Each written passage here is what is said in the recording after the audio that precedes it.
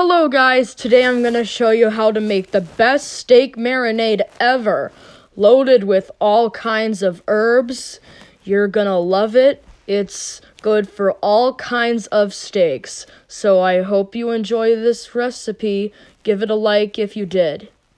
In a large bowl, I'm going to add in a third of a cup of soy sauce, half a cup of olive oil,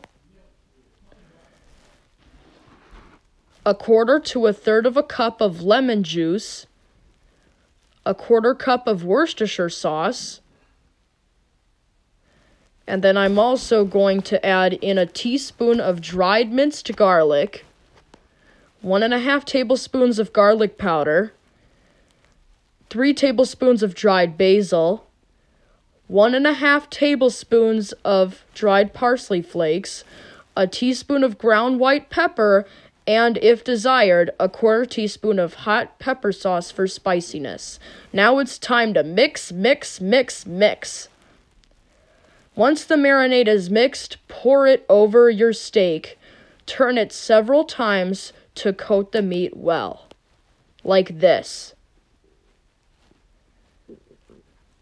Now cover the steak and refrigerate it for up to 8 hours.